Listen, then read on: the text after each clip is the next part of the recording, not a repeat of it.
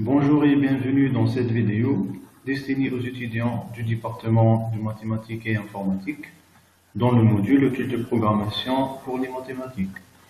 Donc, dans cette vidéo, je vais présenter une introduction aux polynômes sur MATLAB dans laquelle on va voir comment définir les polynômes, comment les évaluer et également comment les utiliser pour faire l'interpolation des fonctions.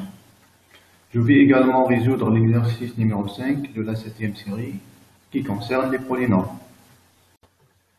Prenons notre interface MATLAB.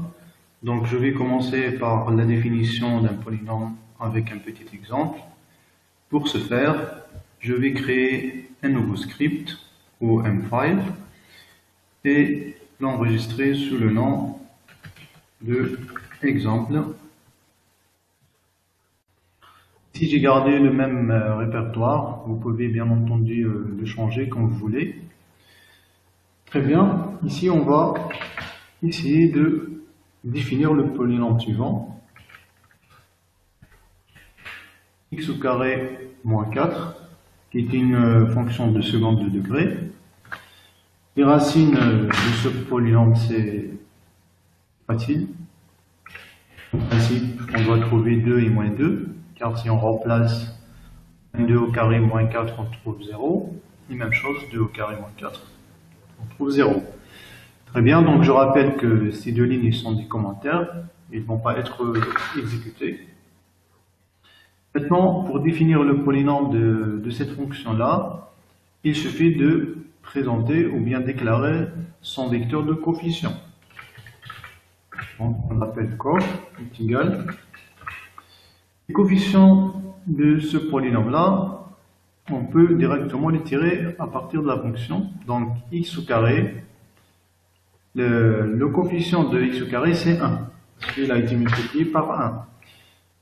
Maintenant, x, il n'existe pas, donc c'est 0, comme si euh, a été multiplié par 0. Et moins 4. Vous pouvez bien regarder ici qu'un polynôme de degré 2 doit avoir trois coefficients. Donc si on a un polynôme de degré n, on doit avoir n plus 1 coefficient. Donc c'est toujours 1 plus 1.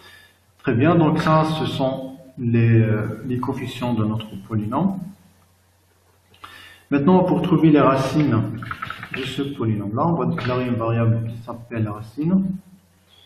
Nous utilisons la fonction root et on lui donne nos coefficients. Si on exécute, on va bien trouver les deux racines qu'on a prévues tout à l'heure, donc 2 et moins 2. Très bien. Maintenant, dans le cas inverse, supposons que nous avons euh, les deux racines et on cherche les coefficients de ce polynôme. Pour ce faire, il y a une fonction qui s'appelle poly. On va le faire sur la commande leader. Poly, on lui donne tout simplement les deux racines, moins 2 et 2, pour trouver euh, les coefficients de notre polynôme. Donc c'est la fonction inverse. Très bien, donc on revient vers les trois coefficients que nous avons vus tout à l'heure. Donc on peut dire que la fonction poly, c'est la fonction inverse de la fonction haute. Très bien, donc on a vu comment définir un polynôme en utilisant euh, un vecteur de coefficient et également comment trouver ses racines. Maintenant à l'interpolation.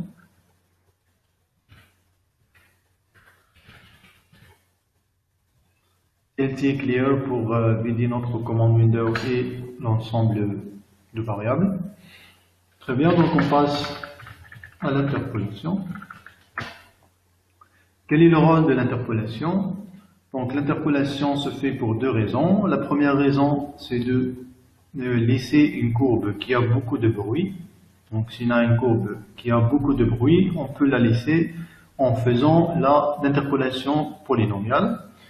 Et aussi, si on a une fonction qui, est définie sur euh, un certain intervalle ou bien valeur mesurée, on peut faire l'approximation de cette fonction-là avec des valeurs qui, qui ne sont pas mesurées. Donc on peut l'appeler approximation des fonctions.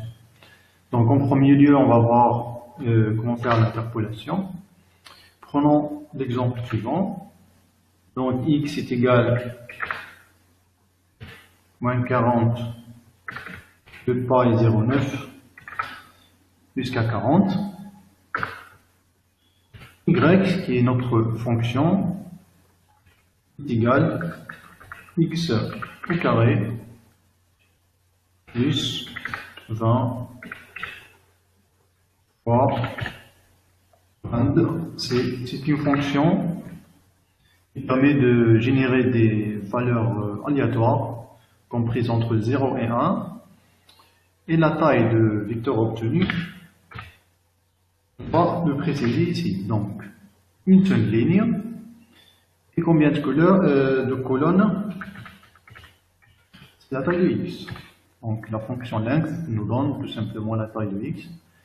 Ici, pourquoi on doit trouver un vecteur de la même taille de x? Car ici, on aura une multiplication valeur par valeur. C'est pour ça qu'on a rajouté le point ici. Donc, il faut que euh, le vecteur obtenu doit être de la même taille que, euh, que x. Donc, on poursuit x plus 4. Donc, voilà notre fonction. Maintenant, pour faire l'interpolation de cette fonction-là, pour chercher euh, le meilleur euh, polynôme qui va, qui va faire notre interpolation, on va définir pi est égal. La fonction polyphyte permet de trouver le meilleur polynôme euh, qui fait l'interpolation. On lui donne tout simplement nos données initiales x et y. Pour le troisième paramètre, c'est le degré de notre polynôme. Maintenant, si on donne euh, 1, ça veut dire que le degré de notre polynôme est 1, on va obtenir une ligne droite qui, euh, qui a la fonction, ou bien qui a l'équation suivante, x plus b. Degré 1, donc on va avoir deux coefficients, comme on a dit tout à l'heure, euh, c'est toujours n plus 1, Maintenant, pour faire l'évaluation, y2 est égal polyval. On va évaluer ce polynôme-là sur, euh, sur notre vecteur x. On lui donne donc les deux paramètres p et x.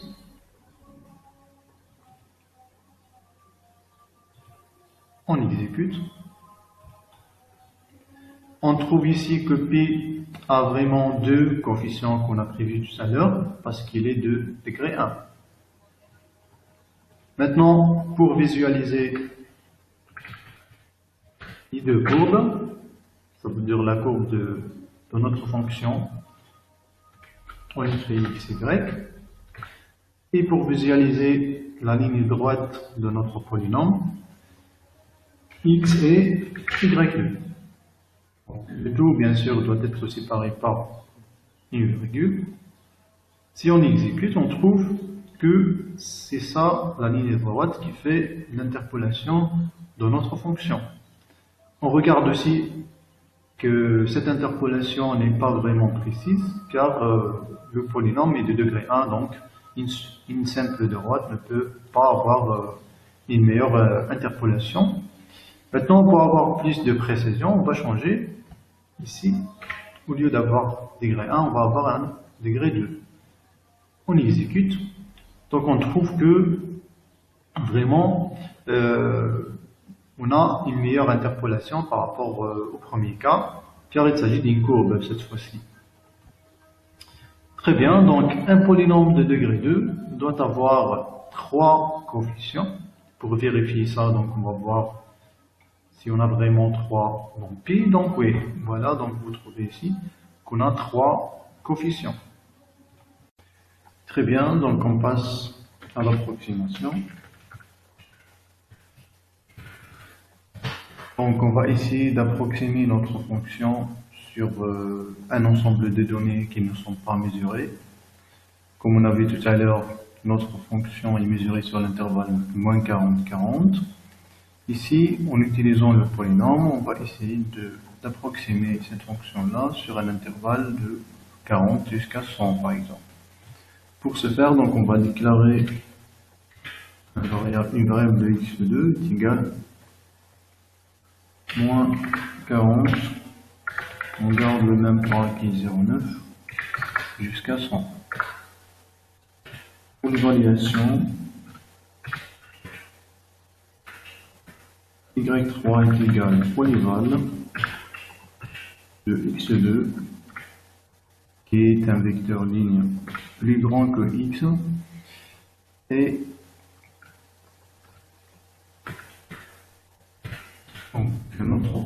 est x2.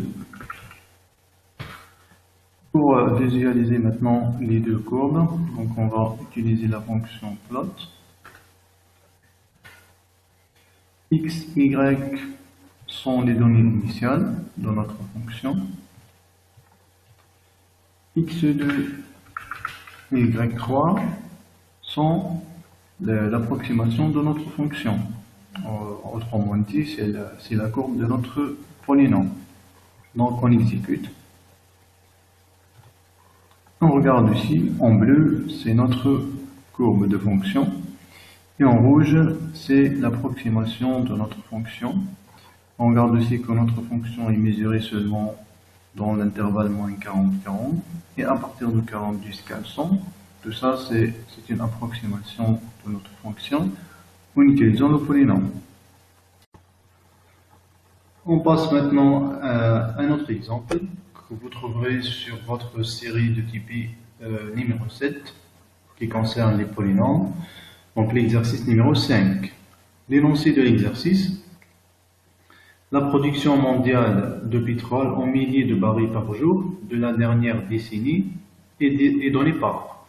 Donc nous avons ici les années et la production en milliers de barils.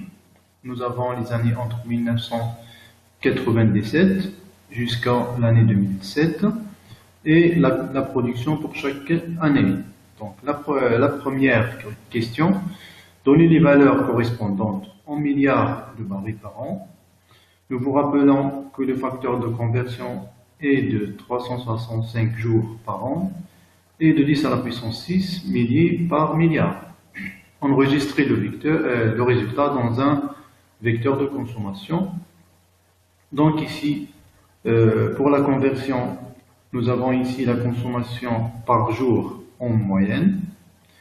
Pour passer d'un jour à une année, de la consommation d'un jour à la consommation d'une année, bien sûr, il faut multiplier par 365 parce qu'une année contient 365 jours.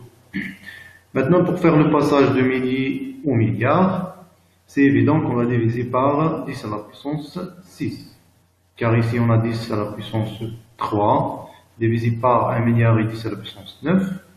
Donc, on obtient 10 à la puissance 6. Donc, on va résoudre ça sur l'interface MATLAB. J'ai déjà écrit le, le, code, donc on va l'exécuter progressivement pour que vous puissiez comprendre comment ça se passe. Donc, je commence par la déclaration de l'année et la consommation pour chaque année. On a bien sûr 11 années et 11 euh, consommations ou valeurs de consommation en milliers de barils. Donc voilà les deux vecteurs, une seule ligne et 11 colonnes pour les deux. Maintenant, pour faire la conversion, on va multiplier le vecteur cons fois 365 et on divise par 10 à la puissance 6 afin de trouver la consommation par an par milliard de barils. Donc voilà notre vecteur de taille 1 fois 11 toujours et qui contient euh, la consommation par année. Très bien. On va passer maintenant à la question suivante. Trouver les, euh, les meilleures constantes A et B telles que le vecteur de consommation soit approximé par la droite AT plus B où T est l'année. Donc, ce qui est demandé, c'est de faire l'approximation de la consommation avec un polynôme qui a cette équation-là. A, T plus B, sachant que T c'est l'année. On regarde aussi qu'on a deux coefficients qui sont A et B. Donc n est égal à 2. Ça veut dire, pardon, n plus 1 est égal à 2, ça veut dire n est égal à 1. C'est pour ça qu'on doit euh, chercher un polynôme de degré 1 pour faire cette approximation. Pour ce faire, on va déclarer une variable p est égale polyphyte. On a vu polyphyte auparavant, donc polyphyte permet de trouver le polynôme qui va faire l'approximation. On va mettre nos données, année et consommation.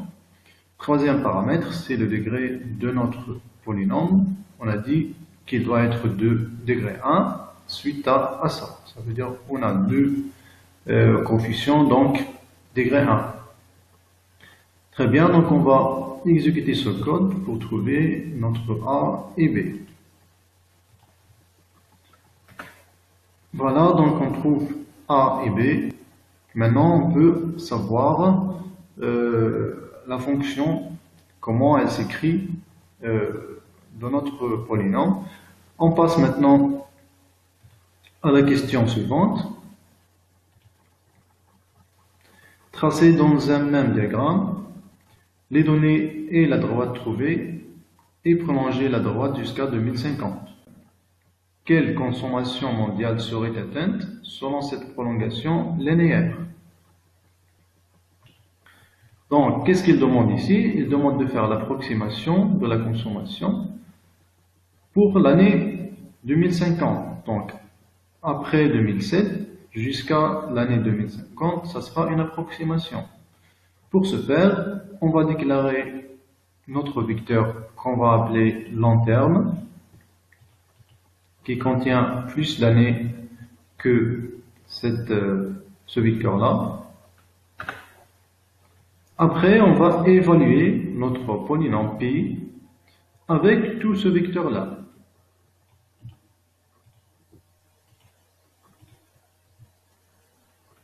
Voilà, donc toutes ces valeurs sont la consommation euh, approximée euh, avec le polynôme.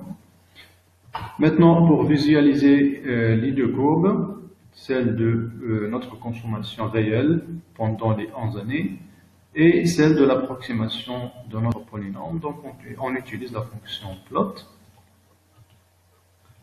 On met nos données initiales année consommation. Ici, c'est tout simplement le style de notre courbe, virgule. Euh, pi 2, les abscisses long terme et pi 2 c'est l'approximation de notre polynôme. Donc on trouve ici en bleu, c'est euh, la consommation réelle des 11 années que nous avons. Par contre en, rouge, nous avons l'approximation ou bien la courbe de notre euh, polynôme qui est une ligne droite parce qu'elle s'écrit sous forme A t plus B. Donc, supposons qu'on veut savoir combien on a euh, consommé pendant cette euh, année 2050, ou bien comment on va, combien on va consommer, parce que c'est une approximation. Pour ce faire, on va évaluer notre polynôme. Avant ça, pour juste savoir ou écrire ici les, on nomme les deux axes, on va écrire X label, Y label, donc on va avoir les axes, les années et la consommation. Maintenant, pour savoir en 2050 quelle est la consommation approximée, on évalue tout simplement notre polynôme dans cette année. On trouve ici la valeur, donc en milliards de barils. Supposons qu'on veut savoir la consommation entre l'année 2009 et 2050. Ça veut dire tout, l'intervalle. Pour ce faire, on va déclarer une variable extra consommation pour évaluer notre polynôme dans, dans cet intervalle. Donc voilà, toutes ces valeurs représentent la consommation des années entre 2009 et 2050. Maintenant, pour savoir la consommation totale, il suffit de faire la somme des valeurs de ce vecteur. Et voilà, donc c'est ça la valeur de notre euh, consommation pendant euh, cet intervalle d'année-là. Très bien, donc on arrive à la fin de cette présentation. Pour toute question, vous pouvez me contacter sur mon email suivant. Je vous remercie pour votre attention.